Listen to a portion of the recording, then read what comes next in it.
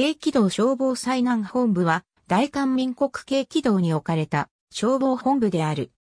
管轄区域は、京気道北部消防災難本部とで、観光を境に南北に分けており、東消防本部は、基本的に、京気道の観光以南地域を管轄とするが、北部消防災難本部で文章しない事項については、以北地域も管轄している。住所は、京気道水原市完全区東、水原路329。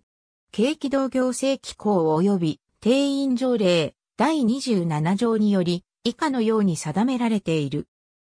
災難の予防、備え、対応、復旧等の消防安全管理の総括及び指導、監督に関する自公生活安全政策及び教育災難現場の資源動員に関する事項、救助救急及び各種危険活動除去に関する自公災難状況の総合管理及び応急対応体制の構築、運営に関する自公消防公務員に対する保険、及び福祉、安全管理に関する事項消防施設等の設置、維持、消防対象物の火災予防及び安全管理に関する事項危険物の貯蔵、取扱い及び運搬とこれによる安全管理に関する自公消防公務員と消防関係従事者の教育訓練を行う。住所は、京気道、竜人市市所、等しく南市面迫るアンギル10の20。所長は、地方消防生。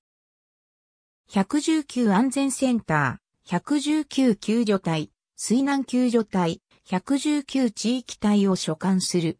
各消防署及び所属119安全センターの名称、所属救助隊、消防艇隊の有無は以下の通り。基本的な管轄区域である観光以南地域のみ掲載。ありがとうございます。